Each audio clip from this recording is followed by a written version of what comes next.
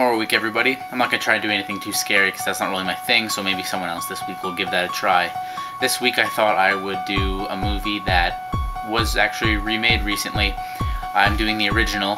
Stepfather came out this past Friday on the 16th, and so because of that, I'm doing this one. It's the original from 1987. I know you may be saying there was an original to this movie, because whenever I'm talking to somebody about uh, the new movie, they're saying, well, I didn't know that there was an original. And it's actually based, kind of, it's sort of based on the life of John List, who killed his mother, his children, and his wife. And so this kind of follows his life. It's based on him. It stars Terry O'Quinn, which a lot of you may know from the TV series Lost. He's been on that for uh, most of the seasons, I believe. I don't watch the show, so I'm not really sure. His character name is Henry Morrison. The movie starts out, uh, he's in his house and he's covered in blood. This is the very first scene, so I'm not giving anything away. Starts out, he's covered in blood, he's cleaning himself, he starts changing his appearance.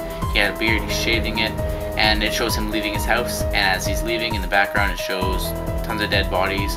Obviously, his children, wife. It doesn't actually show how many bodies there are or who there is, but it does show one child and then some other bodies in the background. So then it skips to one year later, and he has a new wife, he has a stepdaughter, and he's made a new life for himself. In this new life, he's doing extremely well. He has a new job, he's a real estate agent, and he's doing quite well in this new character that he's made for himself. But as the movie progresses, he starts to slowly change back to how he used to be. He starts to get angry at things, and people are starting to catch on to it, especially his stepdaughter. She, the movie really focuses on her and her discovering who he really is. But as she discovered who, discovers who he is, he also realizes that she's catching on to him and she's learning more about him. This movie is extremely well done in my opinion. I thought the acting was great. There was a few parts where that were a bit cheesy, you know, it's like pretty kind of bad acting, 80s horror movie acting. But aside from that, awesome. I, would give it an 8 out of 10 stars.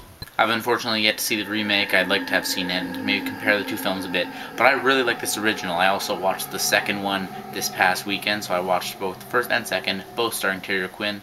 There's a third stepfather, but unfortunately he's not in it because I think he did an awesome job in both movies. But uh, there's only so much he can do, so many families that he can go to. So definitely check this movie out if you have the chance to. Maybe go see it before you see the new one.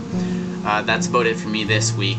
Everyone else will be back this week with their uh, horror reviews, and next week is going to be Halloween week, so we're going to... What the heck?